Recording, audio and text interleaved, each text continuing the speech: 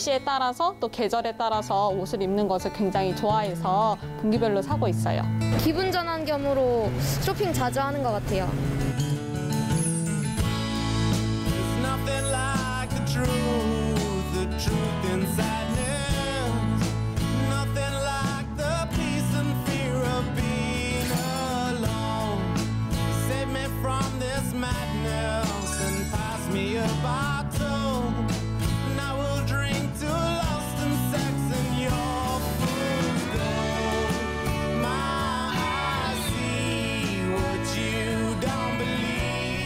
지금 가지고 있는 옷들 중에서 이 옷을 샀을 때좀 색깔이 코디가 괜찮겠다 하는 것들 위주로 삽니다. 핏이 잘 맞는 옷을 주로 선호하고 있어요.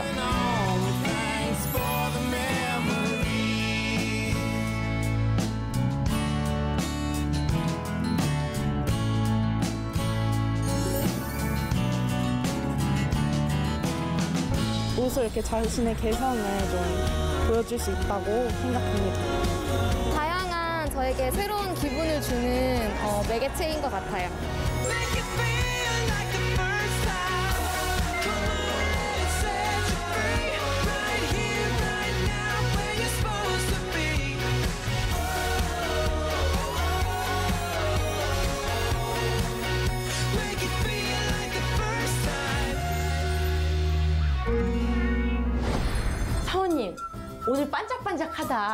우리 현무님이 반짝반짝하다. 현무님 오늘 천사 같아요. 천사 같아요? 어 진짜 마음이 천사 같아져야 되는데 옷만 한복 즐겨 입으세요? 저는 한복을 진짜 좋아하거든요.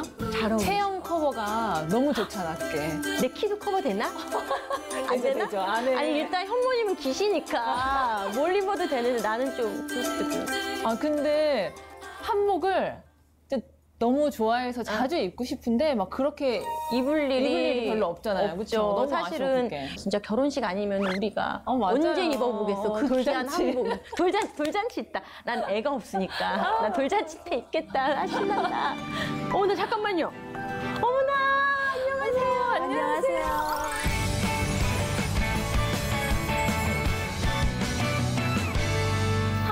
명장 이영희 선생님 모셨습니다. 안녕하세요. 안녕하세요. 네, 반갑습니다. 예. 어, 한복 명장이신데 당연히 오늘 선생님이 입고 오신 옷도 본인이 직접 한 땀 한땀 만드신 거겠죠? 네. 아, 그러면 한국 명장은 어떻게 선정되나요? 아, 그 대한민국 명가 명품 그다음에 한국 소비자 협회 Consumer Post지에서 아, 주관하셔서 어, 선정하시는 건데 전국에 뭐 많은 후보들이 있지만 하나님께서 저에게 이렇게 명장의 상을 연속 3년째 받게 하셨습니다. 3년. 아무나 아무나 연속 이게 한 번 맞는 건 쉬워요. 근데 연속이라는 게 되게 어렵잖아요. 근데 2019년, 20년 올해까지 네. 3년 연속 한복 명장에 선정이 되신 거죠. 네. 이야. 아니, 이렇게 3년 연속 수상 소식을 들으셨을 때 마음이 어떠셨어요? 올해도 또 나야? 이런 기분이 있으셨나요? 너무 놀라웠죠. 너무 놀랐고, 어, 먼저는 하나님께 너무 감사했고, 아, 정말 하나님께서 나를 연속 3년을 명장상을 주실 때는, 아, 무슨 이유가 있겠다. 하나님께서 계획하신 일이 있겠다. 하나님의 뜻에 맞게 살아야겠다. 겸손히. 그렇게 생각했고, 너무 놀랍고, 가문의 영광이고, 감사했습니다. 아, 수상 소감을 말씀하신 것 같죠? 아, 축하드립니다. 또 여기서 다시 한번 축하드립니다. 그런 선생님 명장이 되시면 네. 한복도 가격이 좀 비싸지나요? 그렇게 돼야 되지 않나? 아, 그 우리가 생각할 때는 감히 우리가 선생님의 옷에 다가갈 수 있을까? 약간 그런 느낌이 있죠. 명장이시니까. 그래도 그래서는 안 되죠. 음, 제가 원래 가지고 있던 음, 가격에서 전혀 변동 사항을 줄 수가 없습니다. 왜냐하면 제가 명장이 된 것은 우리 소비자님들, 나의 고객님들 때문에 명장이 된 건데 그렇다고 내가 명장이 됐다고 해서 가격을 올리는 것은 옳지 않습니다. 아, 진짜 명장이시다. 예, 명장에 그쵸 명장은 겉으로만 명장이 아니고 솜씨 퀄리티만 어떤 기술만 명장이 아니라 마음부터 명장으로 하나님이 만드신 우리 권사님이시네요. 너무나도 멋지십니다. 어 그리고 제가 또 놀라운 얘기 뭐 놀랍지도 않습니다. 사실은 이 정도 되면은 2020년 백상예술대상 김혜자 선생님의 한복도 우리 권사님의 우리 명장님의 작품이라고 들었습니다. 네. 어떻게 이렇게 연결이 되셨나요? 아, 그 제가 다른 프로에 프로에 나갔는데 그때 제가 입고 나간 한복을 보시고 전화를 하셨더라고요. 와. 어, 백상예술 영화제 나가시는데 시상식 하러 나가시는데 한복을 저한테 의뢰하고 싶다고. 그래서 그분에게 어울리는 옷을 제가 아주 예쁘게 디자인하고 한 땀 한땀 하늘에서 만들어서 드렸죠.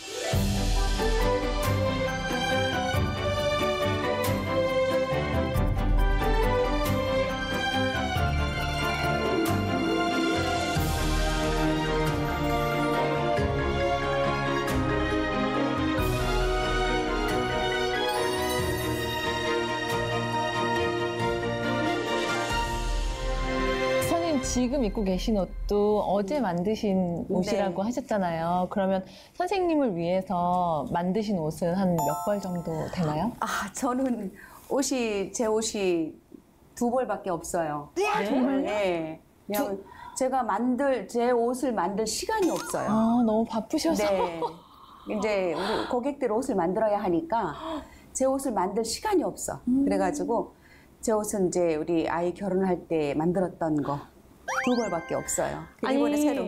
아, 그러면은 한복 한 벌 짓는데 보통 시간이 얼마나 걸리기에 음. 본인 당신의 옷을 못 만드실 정도로 이렇게 시간을 보내시는 건가요? 옷을 처음부터 그냥 쭉 만들면 하루면 만들 수 있어요. 그러나 그 옷만 만드는 게 아니라 네. 이제 그 입으실 분의 그 감성, 그분의 얼굴 피부 색깔, 또 연령 뭐 이런 거를 생각하면서 디자인을 하기 때문에 오래 걸리죠. 아 이게 절대 그냥 뭐 이렇게 기성 상품처럼 자 이렇게 기획해서 이렇게 나오는 이게 아니네요. 아니죠. 근데 저희가 한복을 고를 때는 잘 모르거든요. 저는 그냥 색깔만 보고 고르는데 어떤 기준이 있을까요? 그렇죠. 일단은 나의 피부 색깔, 그다음에 연령, 아, 그다음에 이제 나, 나의 체형, 어, 이런 거를 보고 선택을 해야 되죠. 그러니까 중요한 것은 과연 저 사람이 입어서 예쁘다고 음. 나도 똑같이 해주세요 이러면 안 돼요. 아 그쵸. 그분에게 어울리는 색깔이 있고 나한테 어울리는 색깔이 있거든요. 그래서 나에게 맞는 색깔, 음. 나에게 맞는 옷을 선택하는 게 가장 중요해요. 한복은 이렇게 저고리가 있고 그냥 치마가 이렇게 퍼져서 있는데 체형도 고려를 해서 골라야 되나요? 어깨, 어깨 넓이라든지 얼굴형이라든지 이런 것들이 분명히 아마 많이 살펴보실 것 같아요. 그렇지 당연하죠. 않을까요? 네. 오. 한복도 약간 유행 같은 게 있었어요. 저 때는 약간 이렇게 수놓는 아, 막 이렇게 나비 모양 막 그런 것도 있었어요. 유행이 좀 유행도 좀 있죠. 유행은 이제 색깔이 가장 많이 음, 좌우하고요. 음. 그다음에 이제 우리 한국 전통의 고유의 그 문양, 수, 그다음에 이제 이렇게 그림 이런 거를 이제 제가 입었던 이 한복은 묵화로 그린 그림이에요. 어, 실제로 네. 이게 그림이죠. 음. 그이 원, 그러니까 원단이라고 해서 너무 죄송하지만 이게 그려진 건가요? 네. 와. 그러니까 다양하게 술을 놓는 방법도 있지만 실제로 그리는 방법도 있고 정말 다양하게 그렇죠. 어, 아트네요, 진짜 아트네요. 아, 너무 멋있다. 아니, 근데 궁금한 거는 태어나시자마자 한복을 만드신 건 아니잖아요. 그렇죠? 그렇죠. 아니, 어떻게 하나님께서 이렇게 명장으로 이끄시기까지 그 한복을 어떻게 만들게 되신 건지 그 이야기가 좀 궁금해요, 선생님.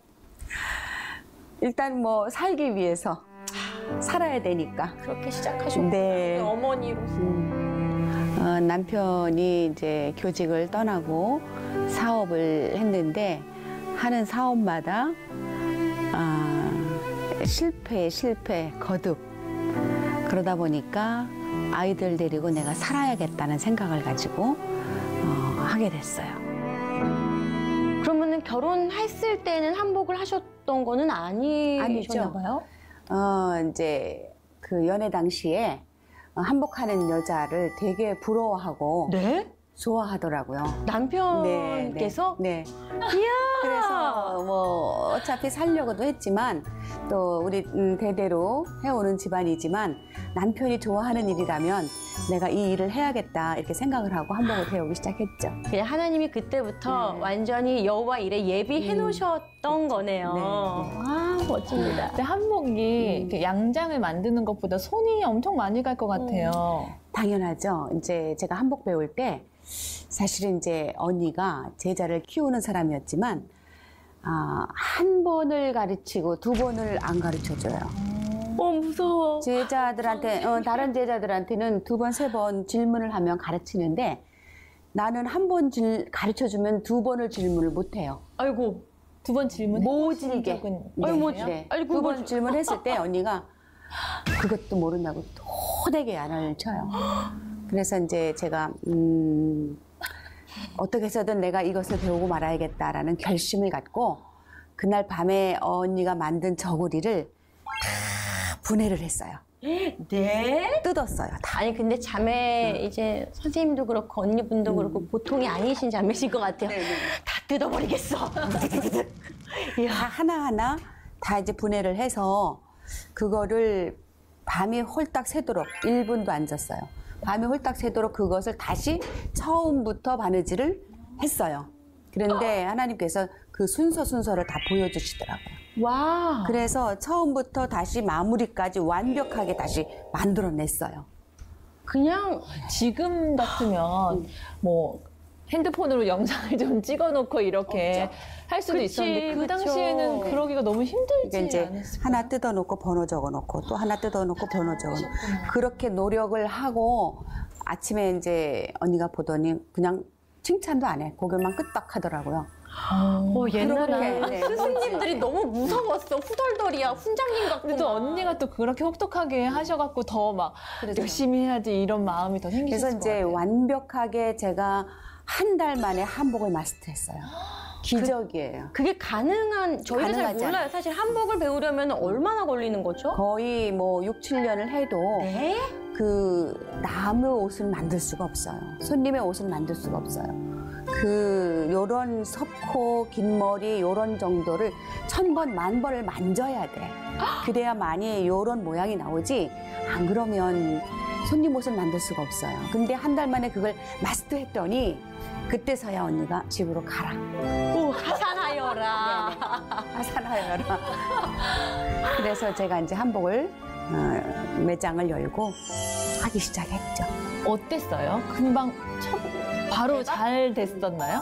바로 잘 됐다기보다 저는 이렇게 막 옷을 막 팔려는 욕심보다 그 손님에게 최선을 다해서 어, 그분에게 어울리는 옷, 그분이 만족해 할 수 있는 옷, 그걸 하는 거 더 노력을 많이 했죠. 그러다 보니까 그 한 80 되신 어르신께서 한복을 맞추러 오셨는데 이제 제가 바느질을 해드려서 한복을 만들어 드렸죠. 그랬더니 그분은 직접 바느질을 해 입으신 분이에요.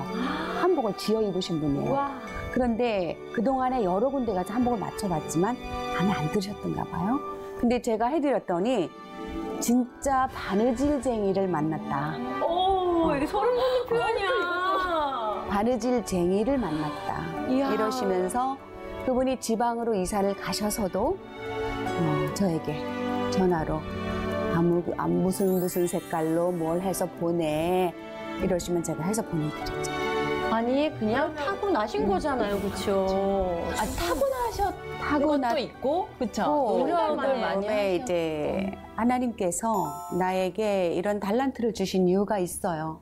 왜냐하면 일단은 남편이 사업에 실패를 했지만 하나님께서 저 사람을 쓰시려고 이미 계획하셨기 때문에 제가 그 남편의 그 모든 것을 밑거름이 돼서 어, 하나님의 종으로 쓰임받게 하기 위한 그런 과정이었어요. 아, 하나님께서 제 남편을 아, 기독 대화 소설 소설가로 쓰시기 위해서 작품을 이미 주셨어요. 근데 그 작품을 쓰기 위해서 내가 밑거름이 되게 하기 위해서 나를 한복을 지으게 하셨죠. 그래서 30년 동안 그 작품을 쓰셨는데 아, 신의 눈물이라고 하나님께 드리는 작품을 썼어요. 남편은 30년 글을 쓰고 저는 한복 대- 재단하고 바느질하고 디자인하고 그러면서도 짬짬이 제가 살아온 날들이 역경과 고난이 많았잖아요. 그거 한 한글 한글 저의 속에서 나오는 거를 재단하면서 옆에다가 적어놓고 재단하면서 옆에 적어놓고 해서 수필집을 냈어요. 그런 상황 속에서도 이제 그런 책을 쓰시면서 이제 아 이렇게 이겨내자 이런 메시지를 담으셨나 봐요. 그 결혼 생활은 왜 힘드셨어요? 뭐 일단은 어, 결혼을 이제 우리 어머님이 좀 힘들게 하셨어요. 제가 이제 어, 우리 남편이 이제 나이가 30이 넘었는데도 결혼을 안 하길래 선생님 왜 결혼 안 하세요? 하고 질문을 했더니 네 어머니가 좀 유별나셔서 어머니를 내가 모셔야겠다. 그래서 나는 결혼을 안 한다. 그러길래 제가 그 자리에서 그 어머니 제가 모실게요. 그랬어요. 아 원래 좀 네, 네. 마음속으로 너무 생각해두고 좋아서? 계셨나 봐요. 뭐 좋았죠. 아, 그치, 그치. 제가 모실게요. 어, 제가 모시겠습니다. 그 어머니 내 어머니가 되리다. 어. 그 어머니 제가 모실게요 했는데 역시나 홀어머니의 외아들 음, 많이 힘들게 하셨어요. 그래 그래도 어, 오직 그 남편이 일편단심 뭐 음, 사랑해주는 마음 또 남편을 위해서 사랑하는 마음으로 견뎌냈고 어, 그때 하나님께서 왜 어머님을 통해서 나를 이렇게 힘들게 하셨나 하면 저희 집 터가 고려장을 지내던 곳이에요. 그러니까 어머님 때문에 아주 기도하지 않으면 견딜 수가 없어요. 우리 어머님도 신앙생활 하셨던 분인데 이제 신앙생활을 접으셨어요. 오히려 나를 전도하신 분인데 저를 힘들게 하시면서 교회를 안 나가시는 거예요. 그러니까 이제 그 어머님을 전도하기 위해서도 그랬지만 그 어머님으로 오는 핍박 말로 할 수가 없었어요. 핍박이. 그러니까 그걸 이겨내기 위해서 그냥 밤이나 낮이나 오직 기도하는 거. 기도. 아주 뭐 오직 기도로 살았죠. 그런데 그 사단의 역사가 엄청 심했어요. 근데 그곳에서 하나님께서 나를 기도의 단을 쌓게 하신 게 이유가 있었던 거죠. 음. 그래서 이제 그때 영적으로 눈을 뜨게 하시고 영적으로 저를 성장을 많이 해 주셨어요. 아니 이쯤에서 또 궁금한 거는 선생님 그러면 그러면서 지금까지 이 시간이 이 세월이 한 어느 정도 되나요? 한복을 만들면서 이제 명장이 되시기까지 보내오신 시간이 세월이 한 몇 년인가요? 제가 한복한 지 30년째에서 어, 이제 어, 아픔을 당했어요. 제가 어, 자식을 가슴에 묻는 음, 일을 당했죠. 그런데 그 이듬해에 음, 위로의 선물로 주신 거예요. 저에게 명장의 타이틀을. 그런데 또 연이어서 2년째, 3년째 주신 이유를 제가 가- 곰곰이 생각해 보니까 하나님께서 너와 같이 아픔을 당한 사람들에게 가라. 어, 자녀를 가슴에 묻은 엄마들에게 또 남편을 먼저 보낸 아내들에게 어, 고아들에게 가서 너의 손길로 그들을 보듬고 그들을 안아줘라 이런 말씀을 주시더라고요. 그래서 아, 하나님께서 나에게 주신 것은 거저가 아니다. 어. 아, 내가 할 일이 있어서 하나님이 계획하신 일이 있어서 하나님께서 하신 일이다. 하나님 앞에 순복하고 그 길을 가겠다. 이렇게 생각하고 기도하는데 그 사람들을 하나님 다 붙여주시더라고요. 주위에 음, 자녀를 가슴에 묻은 엄마들, 또 고아들, 그 다음에 남편 잃은 아내, 요즘에 만나고 위로해주고 그렇게 지내고 있어요.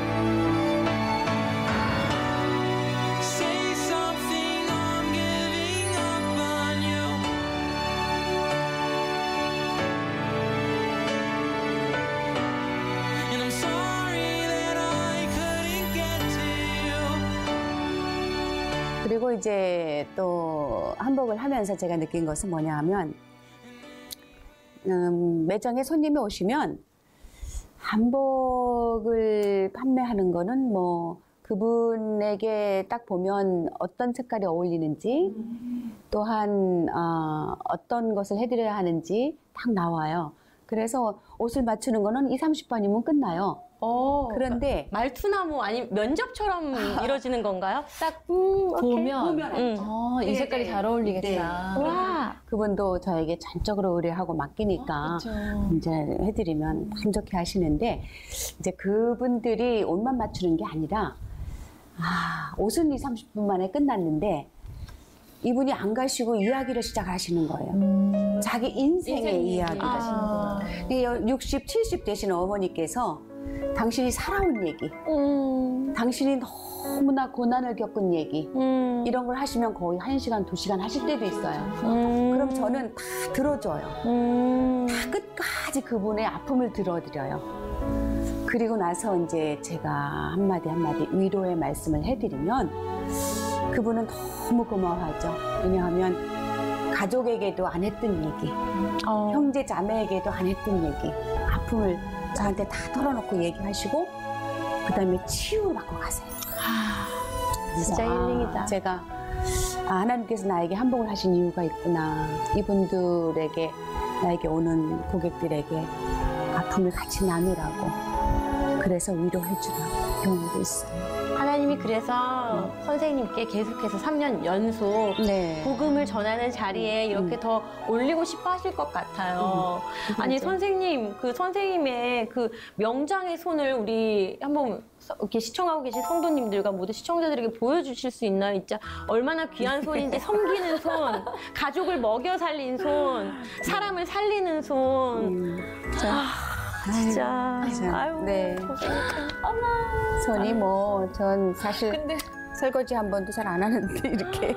야, 영광이다. 손 잡았다. 명장 손 잡았다. 되게 진짜 재주가 약간 많으신 손 같은 그런 느낌이 있어요. 네, 무딘 손이 아니라 네. 선생님 손에는 있어 있어. 이거 받아야 그쵸. 돼. 주님 이거 어? 임파테이션. 다문화 과정을 위해서 한복을 만드시는 경우도 있어요. 아, 네. 그, 이제 제가 이렇게 하다 보니까, 어, 한복을 꼭 입으셔야 할 분이 있더라고요. 음. 입으셔야 할 분이, 어, 형편 때문에 못 아. 입으시는 분들이 있어요. 어, 지난번에 예를 들어 결혼식을 할 때 신부가 한복을 입어야 되잖아요. 음, 너무 그런데 이제 어머님 두 분은 해드려도 자기는 안 해 입는 그런 음. 경우가 와요. 그러면 제가 이제 그분을 보내드리고 전화를 하죠. 다시. 아, 아무개 신부님, 저희 매장에서 이번 달에 100번째 손님으로 당첨이 되셨습니다. 어. 부담스럽지 않게. 네, 아, 네. 너무 자존심. 상하지 아, 않게 그쵸. 저희 한복을 선물로 해드리겠습니다. 이러면 막 너무너무 놀래 하시죠. 그래서 그렇게 이제 해드리고, 그 다음에 다문화 가정에는 이제 합동 결혼식 할 때가 있어요. 어, 네네. 그럴 때 제가 이제 한복 기준에서 입게 해드리고. 근데 또 이제 어, 여러 생각들도 있고 들으면서 저희도 많은 어떤 영감들을 받고 많은 생각들이 드는데 선생님이 느끼시기에 하나님께서 선생님을 왜 정말 많은 것들이 있는데 한복 짓는 사람으로 만드셨을까 생각해 보신 적이 있나요? 있죠. 제가 이제 한복을 시작하고서 가장 먼저 생각했던 일은 자, 예수님의 공생애를 내가 한복으로 좀 표현을 해봐야겠다. 와. 예수님이 마국간에서 태어나셔서 정말 뭐 우리들이 요즘에 입는 그 뭐 코튼 100%의 면 뭐 그 속적삼 같은 거 뭐 베넷 저고리를 입었겠어요? 못 입으셨잖아. 그러니까 난 베넷 저고리에서부터 예수님이 부활 승천하는 날까지의 그 세월의 와. 모습을 옷으로 한복으로 만들어서 한복 패션쇼를 한번 해야 돼. 판타스틱. 너무 당장 가자. 가야지. 이건 다 가야 돼요. 집을 잡고 가야 돼. 네, 있었습니다. 이건 오늘 다 공통된 질문인데요. 이영희 한복 명장님에게 옷이란 어떤 의미일까요? 옷이란 품이죠. 그 사람의 내면의 모습은 우리가 볼 수가 없어요. 그러나 그분들이 입은 옷을 보면 음. 그분 속에 품위와 품격이 나타나죠. 그래서 저는 한마디로 옷을 본인들이 입는 건 자유롭지만 그래도 나의 품위에 맞게 이 옷에 대한 예의가 있게 입는 것이 옳다. 아, 고되지 않았어요. 그 일하는 즐거움에다 새로운 작품을 만들고 그 색채에 빠지고 디자인에 빠지면 그 또 입는 사람을 생각하면서 하면 즐거웠어요. 한 번도 힘든다는 생각은 안 했어요. 그래서 하나님께서 복음도 전하고 나와 같이 아픔을 당한 사람들에게 예, 복음을 전할 때는 명장의 타이틀을 가지고 가는 것도 괜찮다 싶으셨던 것 같아요. 그래서 주신 것 같아요.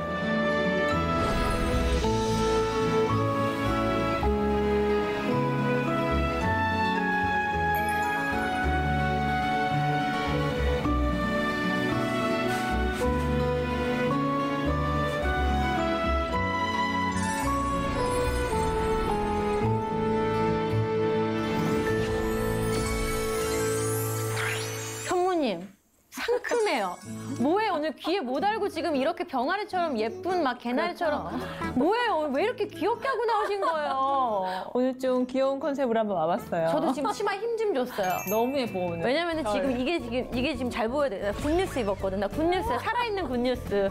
주님 저를 good news로 사용하여 주시옵소서. 아니 근데 오늘 우리가 이렇게 어떻게 보면 컨셉을 처음으로 맞춰서 옷을 입었잖아요. 그럴 만한 이유가 있는 날이에요, 그렇죠? 사모님 다부터는 네. 또옷 좋아하시죠? 완전 나는 그냥 천국 가면 옷이 진짜 많으면 나는 천국에 옷이 막 가득하면 좋겠어. 막 새 옷을. 어머나! 우리 옷 얘기하니까 주인공이 어서 오세요. 로이로이 서울의 대표님 김서정 대표님 나오셨습니다. 안녕하세요. 안녕하세요. 예. 그렇지 그렇지. 그렇지. 그렇지. 잘한다 잘한다 잘한다 잘한다 잘 이렇게 해줘야죠 아우 감사합니다 대표님 놀라셨죠? 근데 이런 또 분위기는 처음이어서. 그렇죠. 저 이런 분위기입니다. 진짜 정말 가볍게 하지만 즐겁게 하지만 깊이 있는 얘기를 나누는 자리인데 먼저 우리 로이로이 서울이 어떤 브랜드인지 소개를 부탁을 드릴게요. 네, 로이로이 서울은 Faith Hope Love라는 슬로건을 가지고 이제 디자이너의 철학, 저희 철학을 이제 브랜드 안에서 뭐 패션이 됐던 굿즈가 됐던 또 다양한 콜라보를 통해서 좀 표현하고 있는 어, 패션 브랜드입니다. 슬로건이 믿음, 소망, 사랑이던데요. 네. 사업인데 이렇게 대놓고 기독교적이어도 되나요? 어, 그래도 저희가 패션 브랜드고 좀 패션 브랜드에는 이제 디자이너의 철학이나 생각을 녹여낼 수 있잖아요. 그래서 어, 뭐 각자 디자이너만의 가지고 계신 철학이나 그런 게 다 다르시겠지만 어, 저희 브랜드에서는 제가 가지고 있는 브랜드 철학이어서 담게 되었습니다. 이렇게 기독교를 전면에 그냥 대놓고 내세운 브랜드들이 사실은 많지는 않아요. 근데 사실은 기독교를 대놓고 내세운다 그러면 좀 보수적일 것 같다라는 이미지가 있는데 사모님이 아 제가 벌써 사모님이라고 이제 또 커밍아웃을 해버렸는데 우리 대표님의 브랜드는 힙해요. 그렇죠? 그렇지 않아요. 네. 저 다음 세대의 복음에 대한 걸 되게 고민을 많이 했고 그리고 좀 이제 트렌드에 맞게 음, 음. 조금 복음을 가볍고 또 친근하게 다가서고 싶어가지고 좀 표현했는데 감사하게도 이제 젊은 친구들이 힙하게 봐주시고 어, 너무 힙해. 어, 힙- 너무 예쁘죠? 네, 어, 힙한. 분들이 이렇게 많이 그쵸? 입어주셔가지고 또 브랜드가 같이 성장할 수 있었던 것 같아요. 그렇죠. 요즘 같은 시대에 기독교가 되게 비난을 많이 받고 있잖아요. 이런 때 이렇게 기독교적으로 이렇게 하는 게 너무 좀 용기가 필요했을 것 같은데 어떠세요? 사실 기독교나 교회가 잘못이 있는 것이 아니라 그 사람들이 이렇게 말하는 하나님이 잘못하는 것이 아니라 그걸 조금 바르게 믿지 못하는 태도? 그리고 교회에서도 또 어떻게 보면은 좀 더 세상과 소통하는 것에 조금 어, 미숙한 부분 그런 것들이 조금 오해가 많이 생기는 것들이 있는 것 같아요. 그래서 좀 그게 너무 안타깝기도 하고, 그래서 저희는 복음을 담아서 조금 움직일 때 좀 사람들과 세상 사람들도 좀 친근하게 느낄 수 있는 그런 퍼포먼스나 그런 콜라보를 통해서 조금 잘 설명해 보고 싶었던 것 같아요.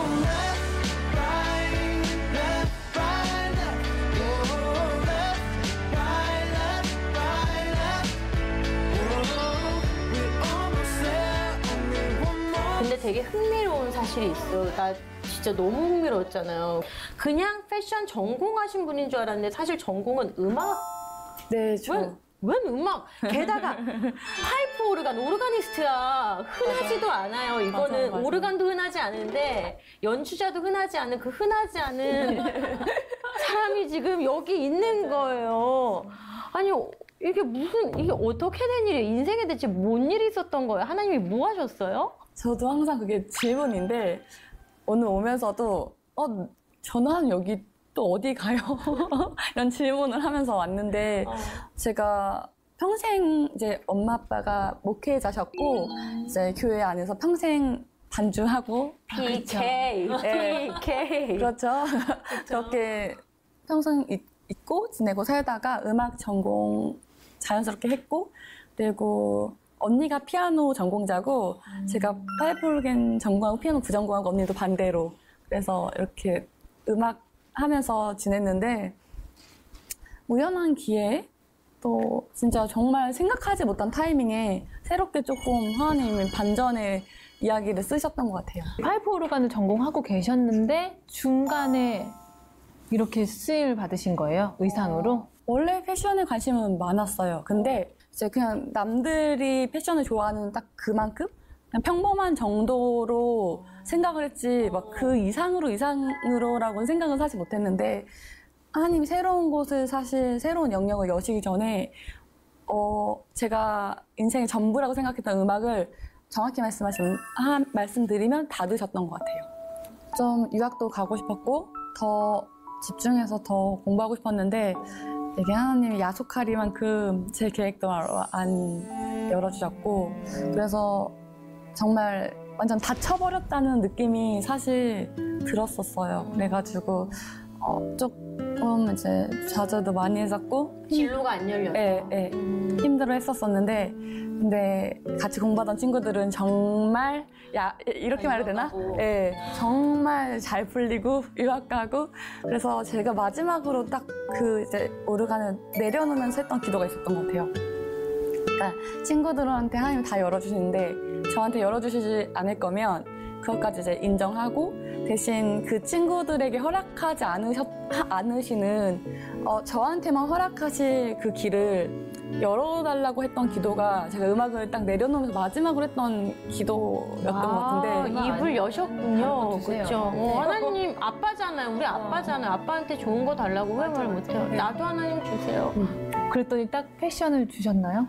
패션을 막 바로 이제 주신 게 아니라 일상에서 되게 소소할 수도 있는데 언니가 이제 피아노 전공자고 제가 오르간 전공자고 평생 음악만 했으니까 진짜 언니가 갑자기 어느 날 느닷없이 우리 가방 만들어 볼래 이러는 거예요. 클러치 만들어 볼래 이렇게 하는 거예요. 그냥 취미 뭐 이런 것처럼요? 취미? 네네네네 음. 취미로 음. 네 그래서 언니랑 그래서 어 재미 삼아서 우리 그러면 좀 재밌게 한번 해볼래 해가지고 너무 솔깃한 거예요 왜냐면은 음악은 항상 눈에 보이지 않고 만져지지 않은 거를 하다가 조금 눈에 잡히고 아, 보이고 완성품이 또. 나오고 보람이 딱 네. 보이니까. 네, 그리- 그리고 이제 둘이 패션 좋아하고 패션 얘기도 많이 하고 했었으니까 한번 해보자 해서 우연한 기회에 시작했던 거였고 그래서 이렇게까지 될 일인가 싶은 그럼 아니, 클러치 만드셔서 어떻게 하셨어요? 파셨어요? 그냥 둘이 들고 다녀. 아니 아니요 한번 만들어보고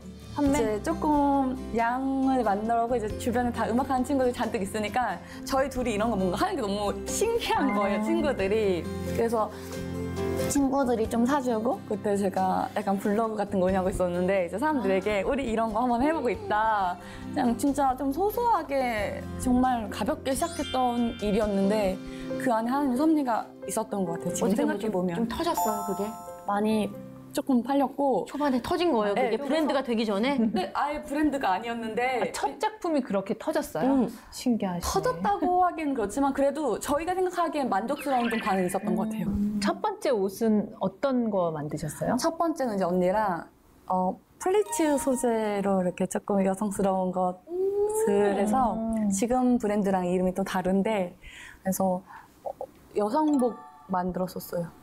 디자인을 그러면 언니랑 같이 하고 네, 뭐 이렇게 맞아요. 제작을 맡겨서 어, 제작 안 맡겼었고 이제 원단 시장도 직접 가보고 어, 공장도 정말 A 군데, B 군데, C 군데, D 군데 진짜 다 가보고 부자재 시장 다 가보고 정말 독학하면서 그래서 사실 만들고서 버려진 옷들도 많았어요. 그래, 근데 그렇게 다니다 보니까 이제 패턴시도 직접 막 찾아서 가보고 연락해서 가보고 문전박대도 많이 당했는데 공장에서도 그렇고 각각 영역에서. 근데 열심히 하니까 되게 많이 와, 전 십몇 것 년. 전에 쇼핑몰, 이런 온라인 쇼핑몰 잘 없을 때 지마켓, 오픈마켓 1세대로 들어갔다가 망했거든요. 잘 망해가지고. 아주, 예. 왜냐면 나는 내가 너무 옷을 좋아해서 시작을 했는데 내 스타일, 내가 입고 싶은 옷만 너무 해서 제가 그다음부터는 너무 절대, 특이해서. 예, 하나님이 받지 넌 아니고 넌 아니 약간 이런 느낌이 있었는데 그래서 사실은 그 과정이 얼마나 고된 줄 알거든요. 저는 그 과정을 다 넘으셔가지고 여기까지 오셨다는 게 저는 정말 고생 많으셨네요. 그러면 처음에 시작하신 그 브랜드랑 지금 로이로이 서울하고는 다른 건가요? 여성복을 할 때 사실 어, 생각지도 못하게 조금 빠른 시간에 짧은 시간에 좀 큰 돈을 벌었던 것 같아요. 진짜. 얼, 얼마, 얼마. 클러치도 되고. 아, 네, 근데 그때 만약에 터지나 봐. 그때 만약에 잘 안 됐었으면 더 이어서 못 왔을 것 같아요. 왜냐면 음악할 때 그 한계를 너무 많이 느꼈었어가지고 어, 아, 뭔가 음악할 때 제가 느꼈던 게 뭐냐면 열심히 해도 이렇게까지 열심히 해도 안 될 수도 있다는 걸 사실 저는 그때 배웠어요. 그렇다고 그래서 열심히 한다고 모든 게 다 열리거나 자, 맞아요. 잘 되지 잘한, 않다는 잘한다고 잘 되는 것도 아니고 아닌 음악은 거를 좀 그런 여러 가지. 네. 어. 근데 패션 쪽에 넘어와서 그냥 정말 재미 삼아서 가볍게 시작했는데 조금 그 안에서 어, 발전이 있고 성과, 그러니까 뭐 이렇게 팔리고 안 팔리고 돈을 떠나서 어, 제가 만족이 드는 그런 성장이 많이 wow. 느껴지고 이게 어, 그 다음으로 갈 수 있는 그 챕터가 넘어갔구나 이런 계속 거기서 오는 되게 감, 감사한 만족감이 있어가지고 사실 했던 것 같아요. 그래서 얼마? 그래서 얼마를 처음 해보셨던 거예요? 첫 여성복으로? 이 얘기도 되게 놀라운 얘기인 것 같아서 제가 꼭 이렇게 좀 예, 구체적으로 여쭤보고 싶대. 한 이제 코트를 단품으로 디자인해가지고 만들어서 팔았었는데 한 4일 만에 2,600만 원이라는 현금이 되게 들어왔었어요. 4일 만에? 4일 만에. 그래서 음악을 했으니까 이제 레슨 같은 거 하면 저 시간당 네. 그게 되게 한계가 항상 있고 평생 음악했기 때문에 그런 돈이 한 번에 막 이렇게 벌어진다는 거를 상상을 못했던 거예요. 뭔가를 그리고 판매 같은 행위를 할 수 있다는 것도 사실은 상상도 못했고 그리고 그때는 판매에 뭔가 포커스가 맞춰 있었던 게 전혀 아니고 뭔가 큰 돈을 벌어보자 했던 게 아니라 아 뭔가 정말 새로운 것을 해볼 수 있고 새로운 것을 도전했을 때 나도 뭔가를 할 수 있구나에 대한 그런 것들에 되게 집중하고 있었던 터라서 그래서 진짜 더 정말 많은 사람들이 그 디자인에 대해서 이렇게 반응해 주시는 걸 보면서 음, 되게 많은 걸 배우고 느끼고 그 다음에 대해서 좀 생각했던 계기가 됐던 것 같아요. 아, 그럼 대표님, 여성복을 하시다가 어떻게 로이로이 서울로 다시 브랜드 새로운 걸 런칭하신 거잖아요. 어떻게 계기가 있었을까요? 계기가 있었어요. 그러니까 짧은 시간에 여성복을 했고 돈이 많이 벌려지면서 제가 약간 의아한 거예요. 이게 뭘까에 대해서 조금 고민하는 시간이 왔던 것 같아요. 그리고 어, 하나님의 뜻이 있어서 여기까지 왔다는 것? 그리고 돈, 그러니까 뭔가 이게 사람들이 말하는 약간 그냥 돈 버는 거, 비즈니스 아니면 뭐 이렇게 사업? 이렇게 말할 수도 있는 건데 내가 거기에 별 물질에 엄청 동요하고 있지 않구나를 딱 느끼면서 사실 그러면서 잠깐 멈췄어요. 그래서 친구들은 더 약간 이제 한번 확 벌고 이제 잠깐 쉬지 왜 그렇게 한번 물 들어올 때 놓쳤지. 뭐 하고 네네네. 그치. 그 얘기 되게 많이 들었는데 어쨌거나 어쨌거나 하나님 우리의 삶에 제일 바라는 건 모습은 다르겠지만 복음을 전하는 것들이 우리가 영순위로 가져야 할 모두가 가지고 가져야 할 미션인데 어제 오르가는 혼자 하는 악기고 그리고 사람들을 많이 만날 기회도 아예 없고 오케스트라 이런 게 아니니까 그리고 이제 오르간이나 아- 악기 할 때도 심지어 사람들과 대면하지 않고 등 돌리고 이렇게 악기를 치거든요. 사람들을 등지고 하는 악기구나. 그러다 보니까 어 도대체 복음을 어떻게 전할 수 있을까에 대해서 정말 오랫동안 고민을 했던 부분이 있었던 것 같아요. 그러다가 이 모든 것들이 좀 기도하면서 아 그러면 하나님이 나를 새로운 패션 영역에 오게 하셨고 그리고 그 패션을 열심히 할 수 있었던 것도 사람들과 만나지지만 저한테 어렵지 않, 아 그게 너무 힘들지 않았던 거예요. 그리고 그러고 왜 옷으로 이렇게 하늘 열어주셔서 딱 이 자리까지 이런 고민까지 할 수 있게 하셨을까 했을 때 어, 그러면 조금 더 패션에 복음을 담아보자. 그런 생각을 그렇게. 시작이 된 거군요. 네, 그래가지고 새로 새로 시작하는 시작했어요. 마음으로 하셨구나. 네. 아. 근데 많은 옷들이 또 있잖아요. 그 중에 또 맨투맨이나 이런 티셔츠에 이렇게 쏟으신 이유는 있을까요? 일단 남녀노소 누구에게나 조금 편하게. 예, 편하게 다가설 수 있고 예, 그렇게 조금 할 수 있는 딱 매개체가 맨투맨이나 티셔츠 그래서 사실은 비즈니스라는 영역이 돈이야 뗄래야 뗄 수 없는 영역이잖아요 근데 앞서 계속 말씀드렸지만 제가 비즈니스를 해본 적도 없고 한 적도 없고 옆에서 다른 분들 하는 거를 또 지켜볼 수 있는 환경도 전혀 아니었어요. 주변에 그런 게 조금 전, 전무했었던 거예요. 음. 그래서 사실 지금도 비즈니스 영역은 이런 거야. 그래서 주변에서는 아 비즈니스 그렇게 하면 안 돼라는 이야기 되게 많이 하시는 거예요. 왜냐면 돈이 안 되는데 왜 그렇게 해? 어떤 부분은 좀 정직하고 강직하게 또 옳은 것들을 좀 고수하시기 때문인가요? 네, 맞아요. 왜냐면 저희가 복음을 담는 게 미션이었고, 비즈니스란 어떻게 보면 매개체를 이용해서 복음이 좀더 사람들과 가깝게 좀 빠르게 들어가고 싶었던 거였는데, 음. 어, 비즈니스가 저희한테 진짜 딱 비즈니스가 되고, 제 우선순위가 되면 지금까지 좀 지키고 싶었던 것들이 계속 유지될지에 대한 조금 뭐 음. 물론 되게 지혜롭게 비즈니스를 해야 되고 앞으로도 해야 되지만 조금 우선순위의 마음의 문제가 에, 그런 음. 것들이 좀 잡혀 있었던 것 같아요. 사실은 아까 자두 사모님이 몇 번 부르셨지만 사실은 사모님이세요. 따단. 보통 근데 사모님이 이제 디자이너다 하면 보통 이제 경건한 옷을 만들겠거니 이렇게 생각을 하거든요. 어떠세요? 그 저를 쳐다보시면 나는 그런, 내가 그런 사모가 아니야. 그런 나, 나는 이미 약간 전통적인 사모님 어. 사실은 둘다좀 한국 목사님들이 포기하신 사모라서 나 보면 안 되고 어, 어떠셨어요? 그래 그런 기대감이 있나요? 저는 제가 근데 단정한 것도 좋아해요. 그래서 그렇지만 또 그 안에서 조금의 포인트들 그리고 있어야죠. 실루엣 같은 게 그렇다고 막 이렇게 지금 많이 찢어지거나 파지거나 막 그렇지 않잖아요. 단지 조금 컬, 컬러풀하고 밝고 그럼요. 근데 저는 이제 제가 어두운 옷 진짜 많이 입었었는데 좀 밝은 옷 입으면 기분이가 좋거든요. 기분이가 내 맞아요. 텐션이 괜히 나오는 텐션이 아니라니까 내 삶을 들여다보면 텐션이 올라갈 일이 별로 사실은 없는 게 많은데 옷에 옷으로 그렇게 될 수 있어요. 아, 저는 나는- 그렇게 어. 많이 해요. 네, 아, 그래서- 나는 액세서리도 하지만 그럼요. 색깔로 어, 의상으로 네, 음. 맞아요. 저는 경건의 모습을 외모나 외양 보이는 것으로 판단하지 않았으면 좋겠어요. 좋아요. 어, 제가 이제 사모인데 패션 디자이너잖아요. 그러니까 사람들이 생각하기엔 패션에 대한 약간 오해 그리고 어떻게 보면 선입견이 있으니까 사모가 패션 디자이너에 벌써 거기서 경건하지 못한 사람이 되는 거예요. 아직도요? 아직도 그러신 분이 많아요. 근데 저는 약간 반증하고 싶은 게 그러면 어떤 게 거- 경건한 직업인가?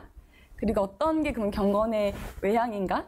제사장처럼 우리가 뭐, 뭐 하나님 만날 때 구역처럼 물두멍 갔다 여기 갔다가 막, 막 끌려 나오고 뭐 이럴 수 예수님 오셨잖아 예수님. 네, 그리고 어, 표현하는 방법은 너무나 다양하고 사람들이 복음을 전할 수 있는 방법도 너무 다양하고 근데 아까도 교회가 잘못 있는 게 아니라 교회를 어떻게 보면은 어, 내 잘못 잘못해- 우리 잘못이죠. 어떻게 보면 사람들 잘못이죠. 그래서 보이는 모습, 외모, 하나님은 외모로 판단하지 않으시잖아요. 그래서 어, 제가 만약에 파이포르간을 전공하고 있고 아이들을 음악을 가, 가르치고 있는 사모였으면 정말 맞는 사모상이라 생각할 수 있으셨을 것 같아요. 근데 어른들이 보시기에. 네네네. 근데 이제는 어, 패션을 해? 약간 이렇게 패션에 가지고 있는 선, 선입견 이미지로 근데 청년들도 앞으로 더 표현하는 모습은 다 달라질 거고 가지고 있는 이제 달란트나 하고 있는 직업군이 다 다를 건데 저한테 어떤 분이 자기 네일 아트를 하는 사모래요. 그런 분도 있고 누구는 자기는 파티셰인 사모래요. 근데 어디 가서 말을 하지 못한다고 말씀하시는 거예요. 근데 어 각자의 복음을 전하. 근데 파티셰 하면서 그 예쁜 음식을 통해서 분명히 누군가를 만나실 거고 복음을 전할 수 있는 좋은 통로가 될 거고 너무 영적인데 파티쉬? 네, 그리고 네일 아트로 예쁜 손가락, 예, 예쁜 손을 이제 해주시면서 고객과 이야기할 수 있는 만남의 그런 통로가 사람에게 또 네. 가치를 주는 거잖아요. 아름답게 기- 만들어 기쁘게 해주고 그러다 보니까 그런 것들이 어떻게 보면 복음을 진짜 전달할 수 있는 좋은 통로가 될 수 있고 매개체가 될 수 있을 건데 뭐 네일 아트, 뭐 약간 뭐 파티쉐, 뭐 약간 이런 선입견으로 그렇게 하는 건 아닌 것 같아가지고 그래서 외모로 판단하지 않는 우리가 되었으면 좋겠다는 생각 되게 많이 했던 것 같아요.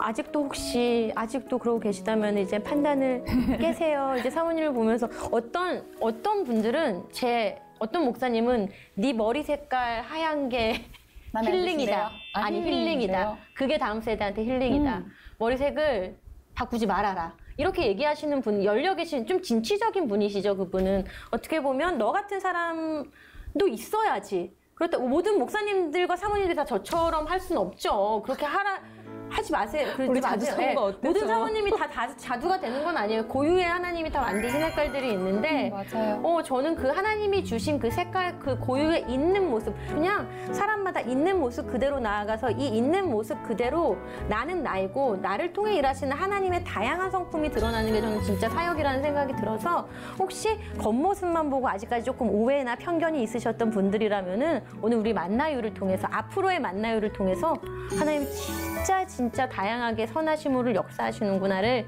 깨달을 수 있었으면 좋겠습니다. 만나유 좋다. 뭐 좀 편하세요?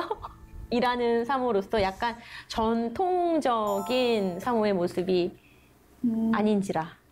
제가 한동안 진짜 많이 힘들었던 때가 있었어요. 약간 불면증을 겪을 정도로 이제 처음에 옷을 만들 때였는데 어, 이, 뭔가 여기 하나님의 뜻이 있는 것 같은데 뭔가 느껴지는 시선은 그렇지 않은 거예요. 근데 그 생각을 했어요. 그 아, 하나님이 여기에 있게 하시면 내가 여기 있고 제가 생각했던 거룩의 모습은 뭐였냐면 하나님이 원하시는 곳에서 하나님이 원하시는 일을 하는 것이 제가 생각했던 거룩이었던 것 같은데 사람들이 자꾸 오해하고 좀 안 좋게 보는 것 같다는 생각을 되게 많이 해서 근데 제가 생각하기에도 제가 본 적이 없는 사무소인 거예요. 제 모습이나 직업이나 여러 가지가. 그치. 그러니까 롤모델이 없는 네, 맞아요. 개척자들.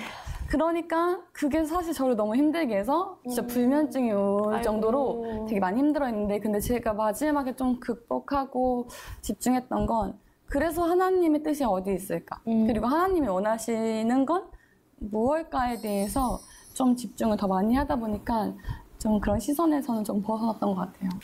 남편분은 어떠세요? 잘 지지해주고 도와주세요? 네, 남편이 되게 많이 도와줬어요. 도와주고 있고, 어, 제가 이제 만나시는 사람들과 또 그냥 이렇게 옷으로만 이야기하는 것이 아니라 사실은 또 묵상 같은 이야기도 가- 묵상 같이 하- 하게 되고 그리고 또 연예인분들이랑 많이 연결 이렇게 되잖아요. 그러다 보니까 알게 모르게 이제 메시지 주시면서 같이 묵상 나눔하고 싶다. 음. 그러면서 좀 새로운 영역의 사역이 음. 되어지고 있는 것 같아요. 와. 그리고 그 이제 각각의 영역에서 어려움을 가지고 있으신 분들과 시- 이렇게 일적인 이야기도 하지만 음. 신앙적인 이야기를 하면서 또그 안에서 더 사역이 일어나는 걸 남편이 알고 있기 때문에 이렇게 사역이라는 표현을 써주더라고요. 아, 삶에서 삶의 터전에서 할 수 있는 사역들, 교회에서는 또 할 수 없는 그렇죠.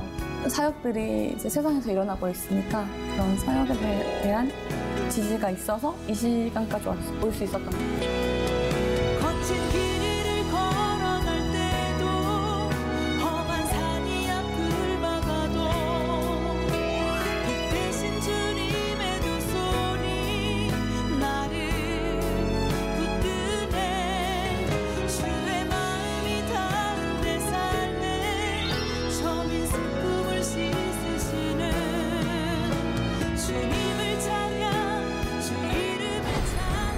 아니라 사역이라고 말씀하셨잖아요. 기독교 단체랑 협업도 많이 하신다는데 어떠세요?